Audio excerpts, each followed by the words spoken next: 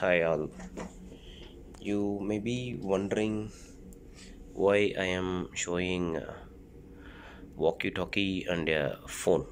Yeah, you are right. I just want to explain how communication is being done on board ships, on board ships, navy vessels, any kind of uh, boats any kind of boats any kind of uh, merchant navy vessels merchant navy ships. So most of the time if the officers or any crew who want to communicate within the accommodation they try to use the phone normal phone which is a landline phone which you can see even at our uh, home and all. But if uh, any crew members officers working outside the accommodation area they will be using the walkie talkie because outside the accommodation means on deck on engine room or any cargo operation going on or any bunker operation going on to communicate within two parties they will be using the walkie talkies so i just want to explain you all about walkie talkie so this walkie talkie is uh, motorola gp328 yeah. And you can see an antenna. This is the antenna for it and this one is a channel. You can see a number of channel in it. One two three like you can three. Eh, this is how you change the channel. So if you want to communicate and uh, communicate both the parties should be having a same channel. If you want to communicate with uh, other other officer you just if your channel is in number one and the other party who want you to communicate also should be in number one. So this is on off switch on and this is off. If you switch it on it will be giving you a green signal and which indicates the battery is full and it will give you two beep sound and this is off. And if you want to talk if you want to talk you just need to press. You just press.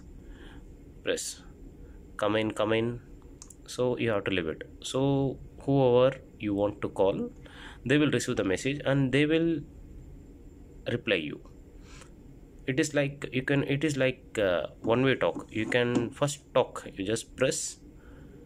Come in come in. You have to leave it. The other party will receive your message and they will come back to you. Reply you for replying no need to press anything.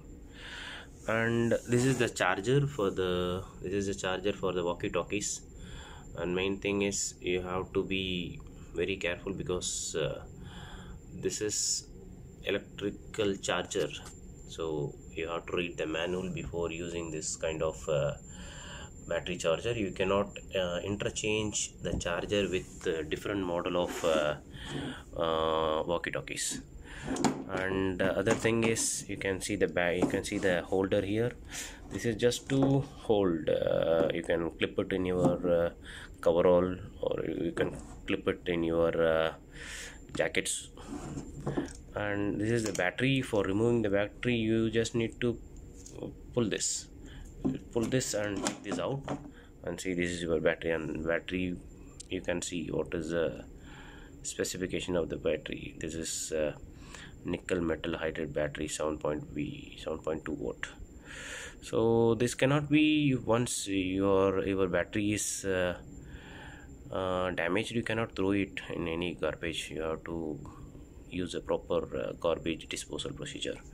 And for fixing back see this is your walkie-talkie and same this. It is almost like it's a handy talkie Tanapol model and everything made in Malaysia and everything so for putting back fixing back the battery you just need to hold hold like this and you give a press. That's all. You are done with the walkie-talkie. I believe this video give you some information on uh, walkie-talkie.